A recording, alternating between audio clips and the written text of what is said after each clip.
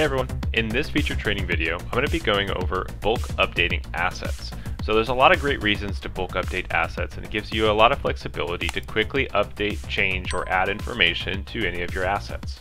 So let's walk through how this works. First, I'm on my manage asset screen and I'm over I'm going to click over here on bulk actions. So then update assets and that's going to bring up this screen to uh, with some instructions on how to bulk update your assets. So first you need to download your list of assets, then you got to edit your Excel sheet, and then save and upload the file. But do note there is a limit of 2,000 assets at a time. So if you have more assets that you need to update it, um, you need to break them out into separate spreadsheets so that you can then upload once you're uh, once you're done making all of your edits.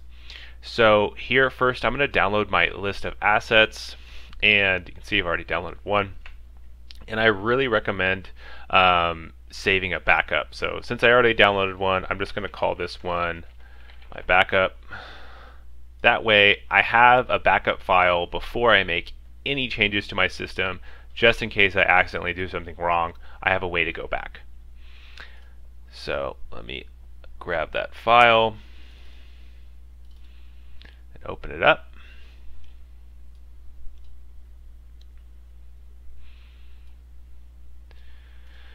So since I already saved a backup, we're good to go and to start making edits. Now, there's a couple things that I recommend you do um, just to make sure that you're not changing any columns or updating any assets that you do not intend to.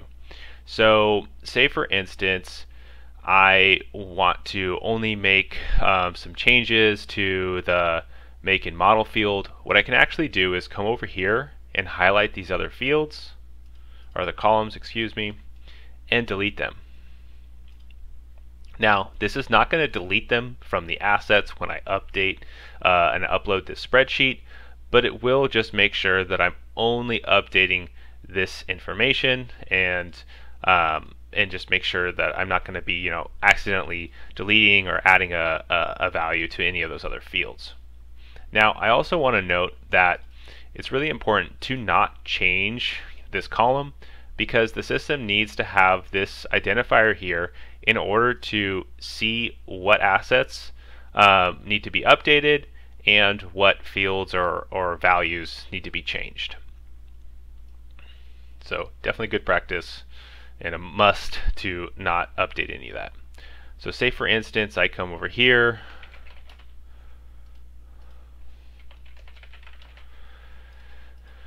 and I'm just going to um, add in some you know values for these data and pull that down. Um, obviously you can make any changes you need. Uh, it's for a number field, currency fields, uh, so on and so forth. Now, when I upload this spreadsheet, it will only add uh, the make and model field to these assets if it's not already added to these. And it will update that field with this value. So tools will get uh, the test value and uh, also the option one value under make. So we can see this uh, by updating that. So let's go ahead and upload our CSV. And we see that um, since I have all of those assets included in the spreadsheet, it's going to say 21 assets are updated, even though we're really only updating um, you know that the first few there. So we can see if I click on that uh, which assets will be updated, I can hover over this question mark and we'll see that model field will now have a value of test and make field now have uh, a value of option 1. I can go down the line here. And if we go to some of these assets that didn't have any updates, you'll hover over them and you'll see that no updates are actually going to be made. So I can click confirm. Now if I show our make and model field, throw this in a list, I can see all of those values have been updated in our system. So overall, a uh, pretty straightforward process, but you know there's always a couple little things that um, uh, you need to be careful of. And so some of those best practices of not uh, um, you know editing any of the column names or making any changes to the asset to update field is definitely one of them. The other is removing columns and assets that you don't intend to update. This way, um, you won't accidentally enter in a value or you know pull something down a little bit farther than you intended to, and that would then add that field and value to that asset, which you didn't want to do.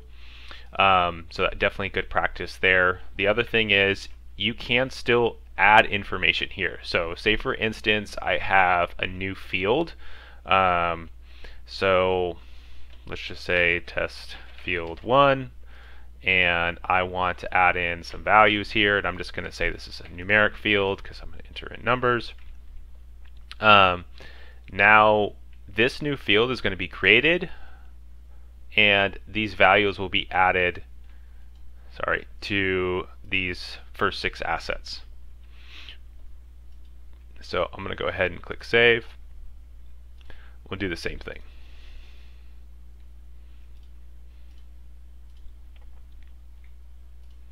So we see there's a new field that's going to be created. It's test field 1 and I can specify that yep that is a number field.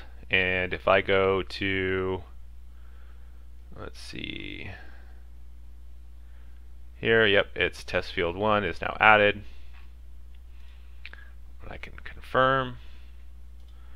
And now if I refresh my page oh it just popped up there. Test field 1 and those values are added to my system so there you go. Um, I hope you find this useful. If you have any questions, please reach out to us and let us know how we can improve this video and this article. Um, and best of luck. Thanks.